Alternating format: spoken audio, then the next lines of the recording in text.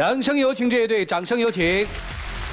男嘉宾武先生，二十九岁，来自湖南；个体熊女士，二十五岁，同样来自湖南。无业，有请两位，有请。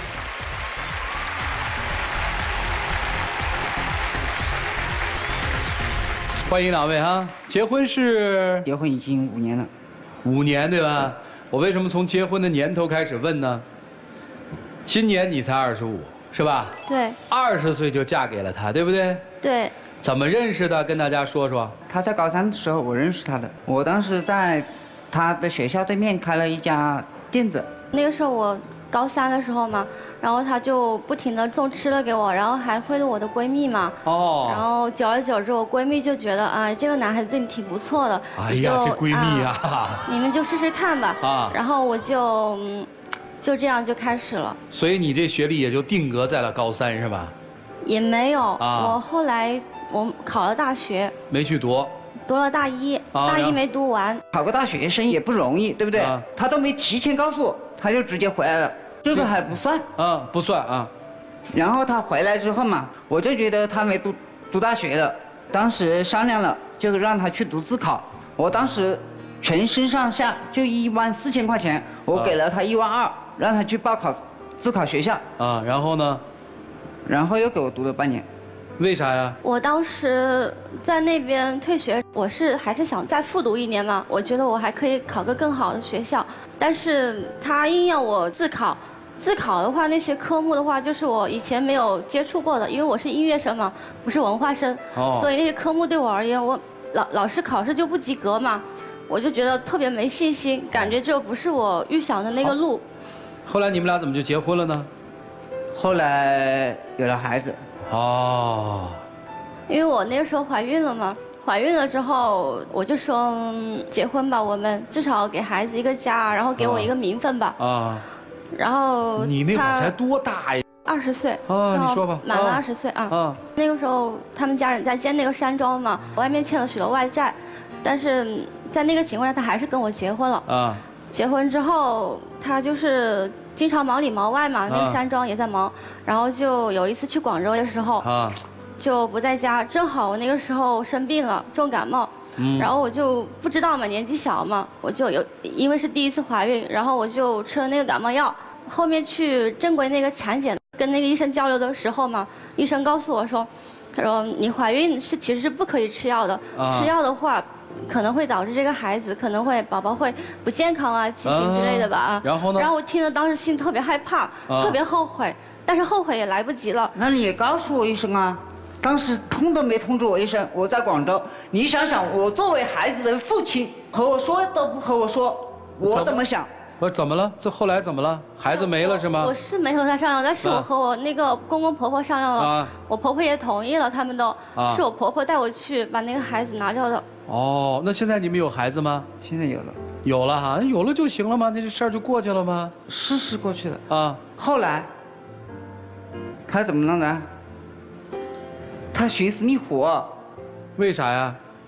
因为他回来之后，这个事情没完，啊他就找我吵，就啊怪我，责怪我不应该把孩子拿掉，啊没没经过他同意，然后就找我吵。我那个时候身体还没有恢复，他找我吵我也没办法，然后我就想用比较极端的方式去威胁他，让他冷静下来，不要找我吵。什么方式？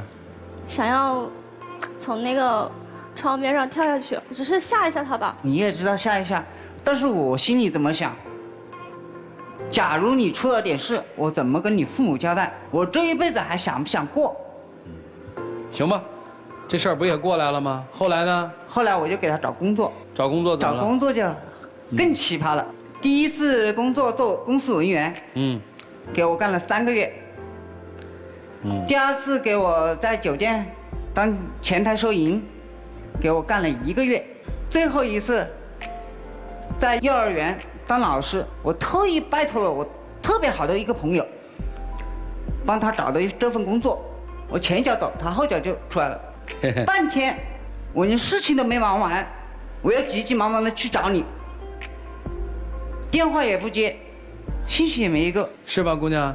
是的，哎，你这当妈之后有孩子，是不是好多了？是不是？你怎么了？那我就更想笑了。啊，孩子整天就知道打麻将。啊家里现在乱七八糟，而且我不让他出去，那今天一天的脸色就不好看了。是吗，姑娘？我真的不知道他所谓的做家务到底怎样才算。啊，但是自从就是每次他出去，偶尔或者说经常性的，我还是会做家务的。但是我每次把家收拾完的时候，他一回来就给我袜子啊、衣服啊扔的到处都是，然后什么都不收拾，什么那个糖啊吃了。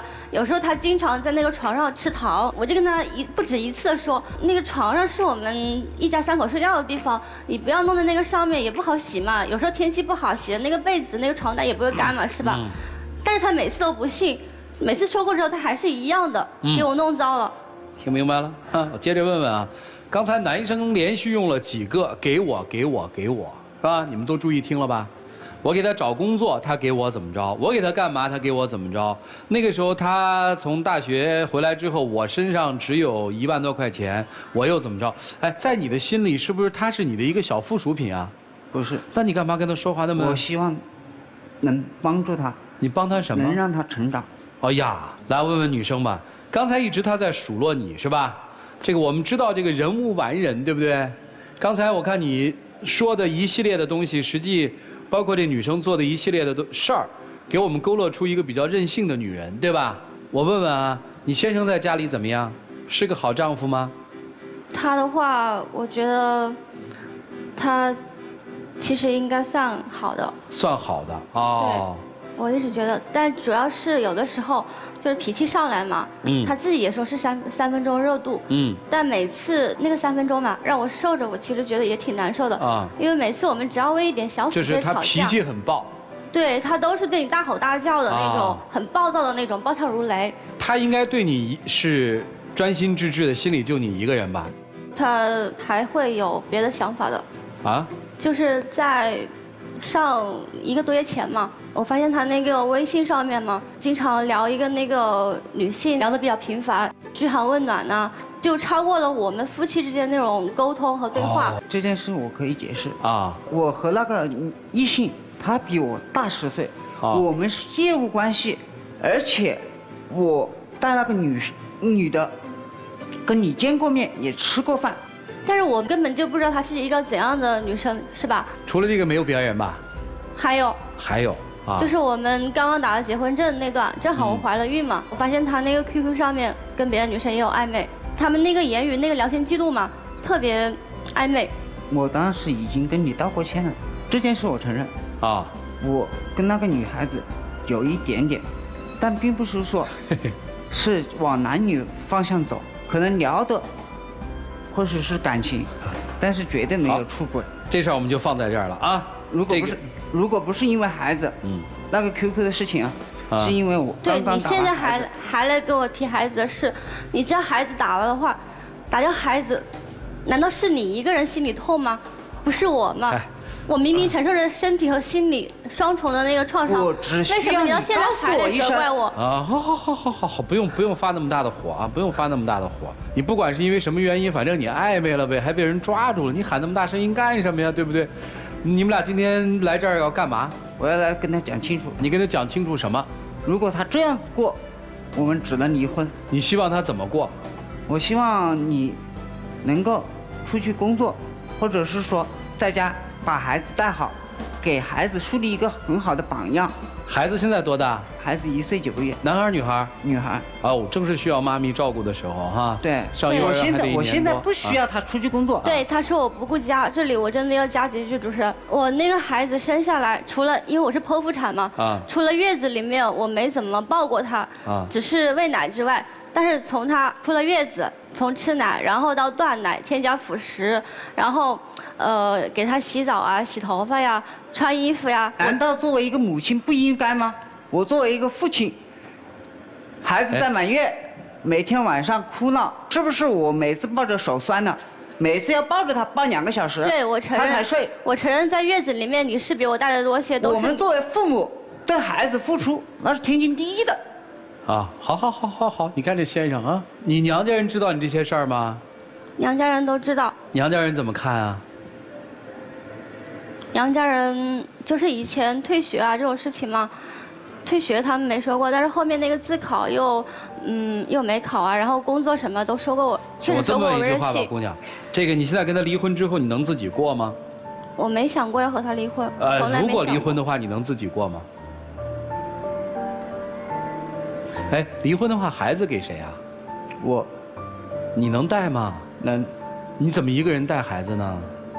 请保姆啊，他在不是一样可以请保姆吗？反正他不会让保姆教他呗。但是请保姆的话，没有母亲带的好吗？那就母亲和保姆一起带呗，保姆先帮帮嘛，你得让他成长啊。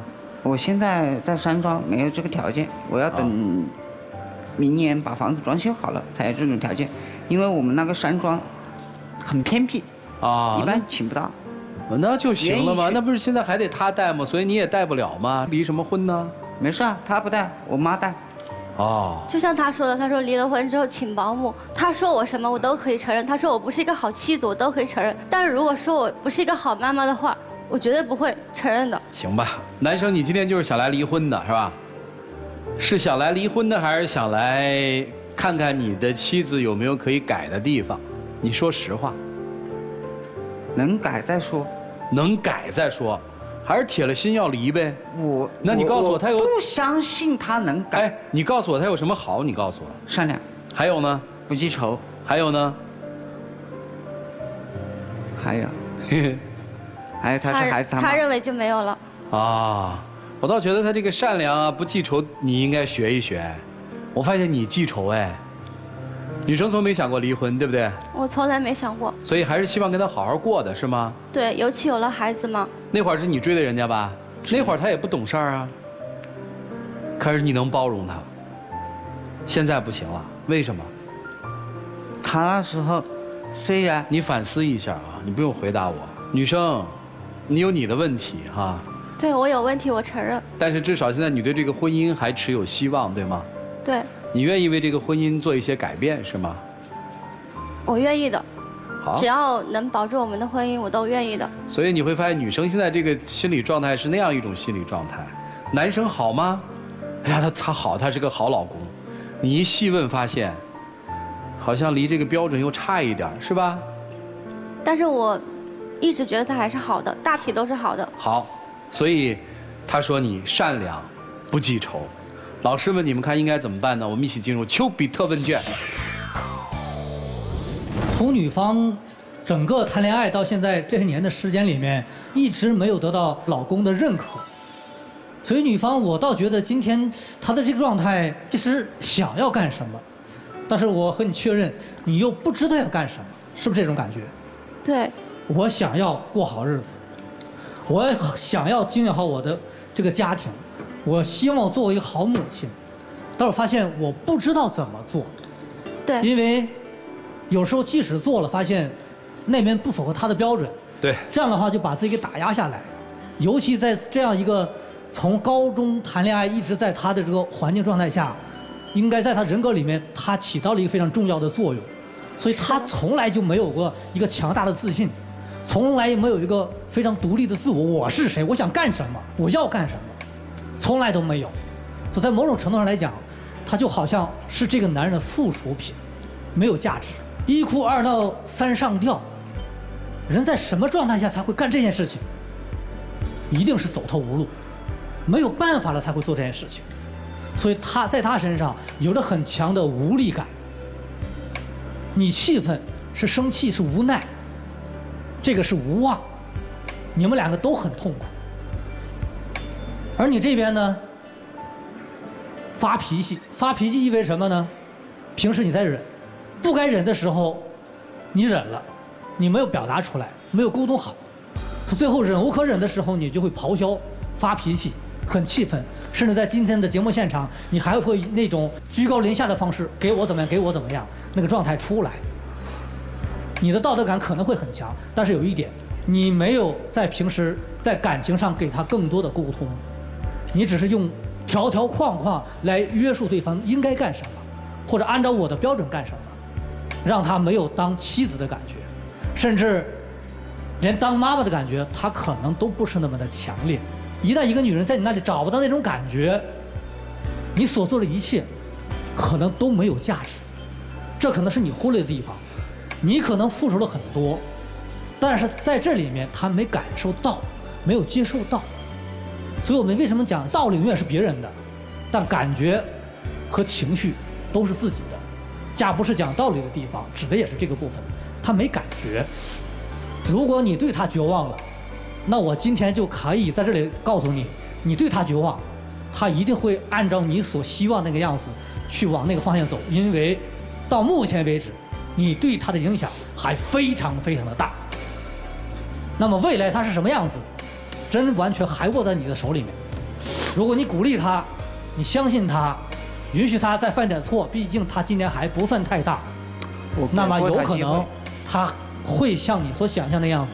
如果你都不相信，那所有人，包括他自己，仍然不会相信。既然你年龄比他大，你格局比他高，那对错都在你身上，不在他身上。他所有的问题，其实都是你问题对他的投射。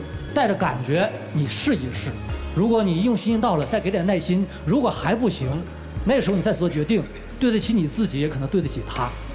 我希望能够珍惜这份缘分，嗯，好吧？好，谢谢谢谢于老师啊，话说的已经很重了啊。来，肖老师，嗯，男孩，我问你个问题啊，嗯回到五年前，如果那个时候她的怀孕正常进行着，但是到医院那一刻，大夫告诉你。大人和孩子只能保一个，你保谁？大人。如果你真的要保大人的话，你为什么那么责备他？如果你心里还爱他的话，你的第一反应不是应该他怎么样了吗？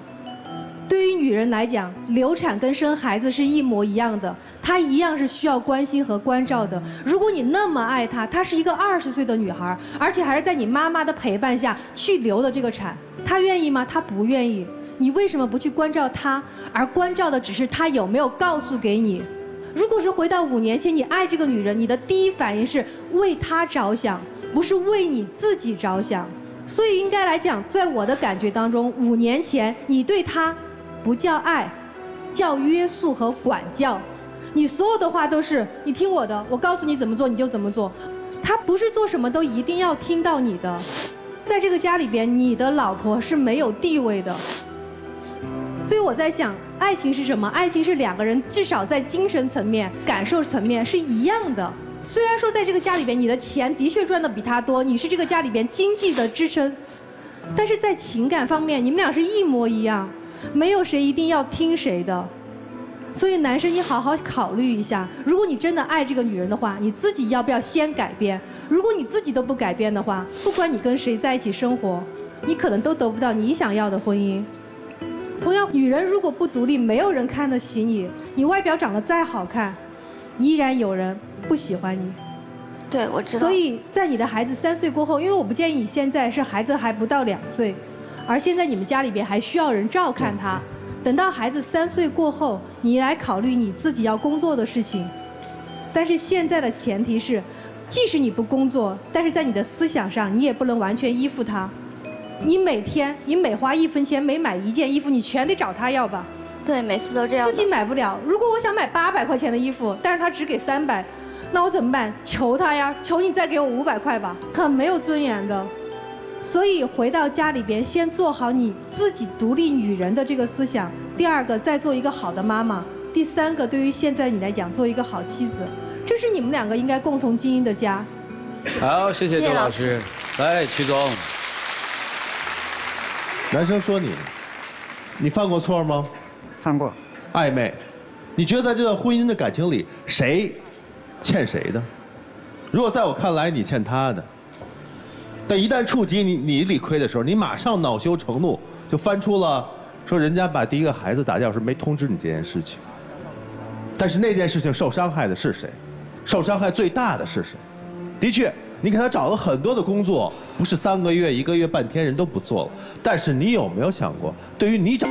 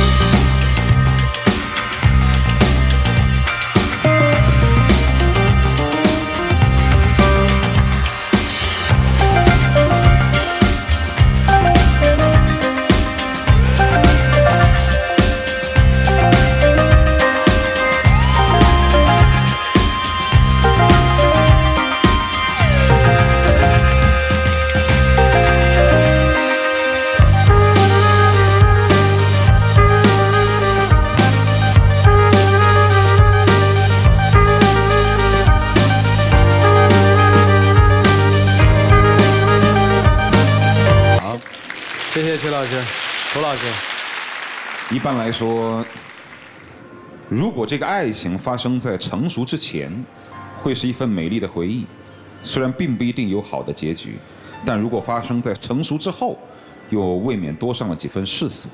从某种条件下来说，爱和喜欢最大的区别就在于，在喜欢之上，如果多了一份奉献，多了一份更加持之以恒的一些付出，它也许就变成了爱。但我想说，你们俩之间，尤其是你对他之间，最初一定仅仅只是喜欢，到如今，这爱也没多上几分。找一个年纪小又可爱的女生，你除了享受她的青春懵懂和活泼之外，就代表你要付出更多的责任和义务去引导她。你只享受了她的懵懂、青春和可爱，却并没有在她。真正需要你引导，也就是那几次人生重大的转折点的时候，做好一个很好的表率。那么你该管的时候不管，该引导的时候不引导。事到如今，你责骂他不上进，你责骂他不顾家，你责骂他不成熟，你这是怨谁呢？你不能得了便宜还卖乖。坦率的来说，虽然这个女生的确自己不上进。但至少有一点应该是值得你学习的，就是他还是像当年一样比较单纯和可爱，但是你不一样，你还是像当年一样世俗、小心眼儿。而至于对于女生来说，如果说七年前你还像今天这样，我觉得没关系，那叫可爱。但如果七年之后你已经为人母，你依然不懂得自己如何去把控生活的节奏，以及。尊重自己，那你这七年几乎是白混。如果再长此以往下去，我告诉你，这个男人是一定靠不住的。所以这个时候你要自救，要自己救救自己。如果他能够回头，这婚姻还可以继续下去；如果他不能回头，你也要做好自己带孩子生活的准备。你得想想自己的人生。就这样。谢老师。嗯。只是提醒大家，就是当你没有独立人格的时候，你连自己的婚姻都做不了主，因为你不独立嘛。女生，你就想一个问题：你离开了他，你还能活吗？能。那就好好的试试，自己怎么去生活。男生，你得想一件事儿，就是七年前他把这个书读完了，是吧？你们俩没结婚。现在你的老婆是他还是别人？这可能是你一段美好的回忆了。话说回来就是，看起来他退学是你们俩在一起的一个最重要的机缘，对吗？对。那段经历，如果我们从婚姻的角度来说，应该感谢那段经历。以后我觉得就应该让抹去，别再提了，好吗？都不要再提了。如果你们想往前走，想清楚吧，一起进入黄金六十秒。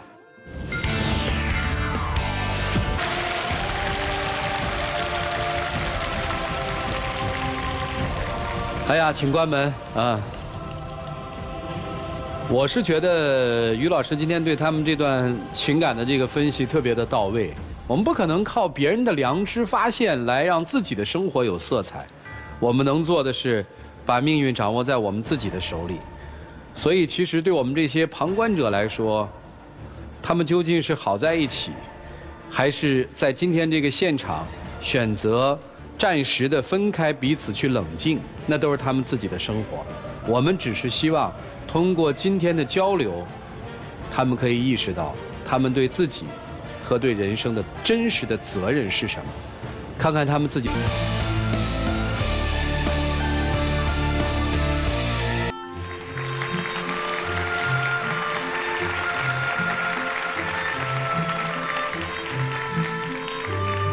啊，女生，我觉得今天的节目下了之后，你好好反思一下老师们的话，啊，包括他最后说的那句话，你有你自己的人生啊，明白吗？你的人生不完全是他啊。本节目礼品是由保湿护肤领先品牌伊贝诗药保湿伊贝诗伊贝诗防晒霜提供的。接下来我们来见证一下属于这对夫妻的浪漫，各位请见证。